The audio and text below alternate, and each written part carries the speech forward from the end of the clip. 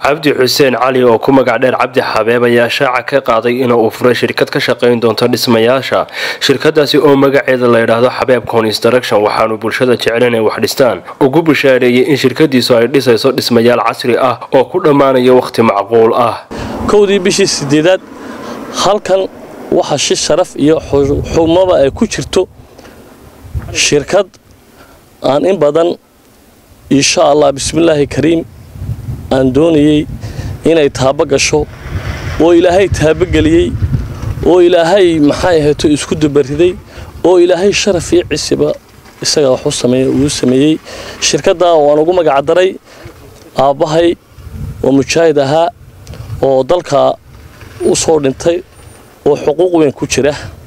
Kaasoo la ydhaha shirkadda magaceeda xabeeb crostration combany taasoo aan insha allah bismillaahi kariim maanta hordhacii ugu horreeyey aanu xadhigga ka jarayno oo aanu dadka u sheegayno dadweynaha jamhuuriyadda somalilan in maxaa ee gobolka saaxil?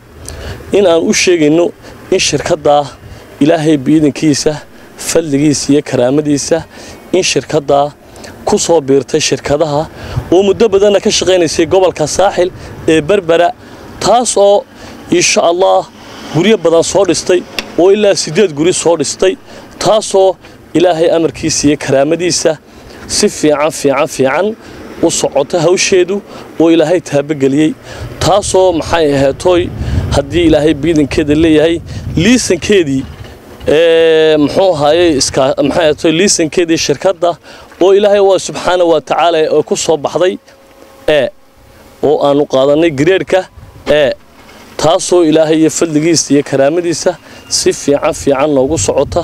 Haddaba dadweynaha sharafta leh ee somalilan marka hore waxaan halkan maxay aheetoy u soo sheegayaa guddida maxay aheetoy qandaraasyada jamhuuriya qaranka somalilan in aanu maxay aheetoy nima nahay dalka xuquuq iyo xaqaba ku leh. In wixii maxay aheetoy shirkad ahaan wixii shirkad ay yeelan jirtay iyo qandaraasyada ay qaadan jireen shirkadaha kaloo dhan in qaybna laka siiyo. Dadweynahana waxaan u sheegayaa jamhuuriyadda somalilan meel kastoo ay kala joogaan inay shirkadda ku soo hirtaan inay shirkaddan curdinkaah ee ilaahay taabogeliyey ay si fiican fiican ugu soo hirtaan. Cabdi xabeeb waxaa kaloo uu sheegay waxyaalaha shirkadda xabeeb construction ay kaga duwan tahay shirkadaha kale ee ka shaqeeya dhismayaasha. Dadweynaha u sheegi doono inaanu anigu shirkadaha kale kaga duwannahay hal qodob inaannu dhisayno maxay ahatay guryo danyarta ah oo nusbaloodha ah oo iibah oo sida saddex maqsinoo kale oo aanu dhalin maxay ahatoy dadka masaakiintaa ama maxay ahatoy dhiib bilowar ha u shaqeeyo ama maxay ahatoy meel kale ha ka shaqeeye. In aanu ka iibin doonno oo aanu ka siin doonno lacag raalli gelisa oo aanu xitaa wax ku yeelan doonno wixii aan hayn oo aanu qaar ka haftuu guri doonno oo waxay mushahar qaataan aanu barhkii ka qaadi doonno shirkaddu waxay shirkadaha dheer tahay. Ajantahaasay dheer tahay.